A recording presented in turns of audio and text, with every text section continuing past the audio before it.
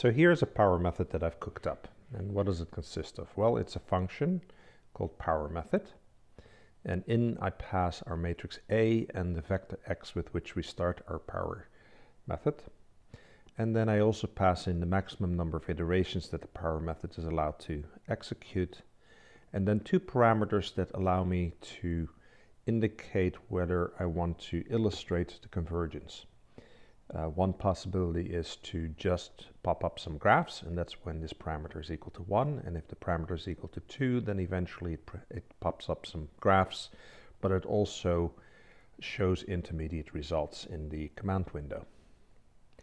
Now, how does this routine work? Well, we extract the size of matrix A. If we then decide to illustrate convergence, then we create an array in which we store intermediate results, intermediate approximations for our eigenvalues. We then take our vector x that was passed in and we normalize it to have length 1. We iterate for a maximum number of iterations and in each iteration we store the old value of the vector v that allows us to check convergence. We then perform our matrix vector multiply and normalize the result and then uh, we update an approximation to the eigenvalue using the Rayleigh quotient. If we want to illustrate the convergence, then we store the current approximation to the eigenvalue. And if we want to illustrate at level 2, then uh, we also print out the intermediate value for lambda 0 in this case. In order to check convergence, what I do is I take my old vector and I compute the component of that vector in the direction of the new vector and I subtract it off. That gives me the component of the old vector orthogonal to the new vector. And if the largest entry in that vector in absolute value is small, then I uh, break out of the loop and my convergence is done. And then if I want to also pop up some graphs that, them, that illustrate convergence, then I do that here at the bottom.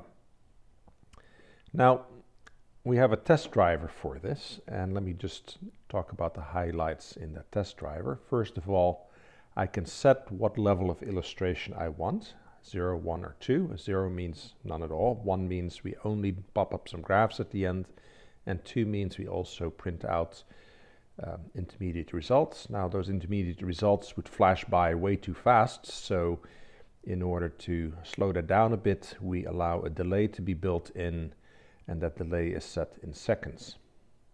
So then I've decided to illustrate what we do with the size of matrix 5. Eventually we're going to talk about subspace iteration, and for that I'm going to work with three vectors simultaneously in a matrix V.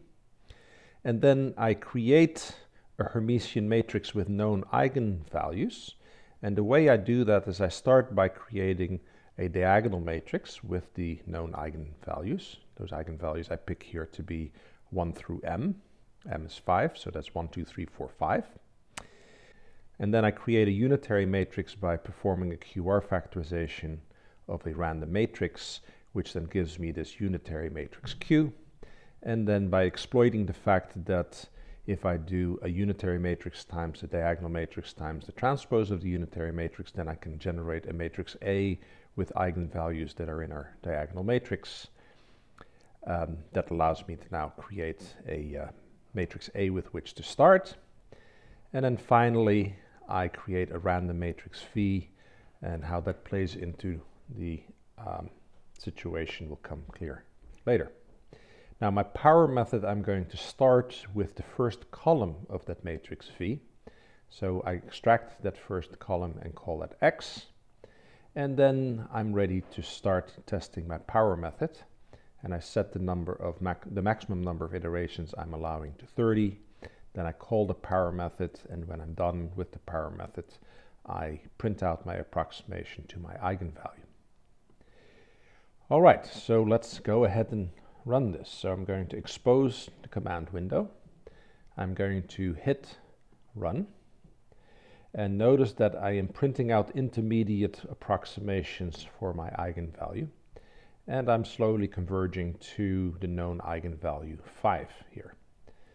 And let's have a look here. Now I finished 30 iterations, so I didn't quite converge. And on the right now, here I have uh, created a graph that shows the convergence to this eigenvalue 5. And it all looks very good when we plot this in a linear linear fashion.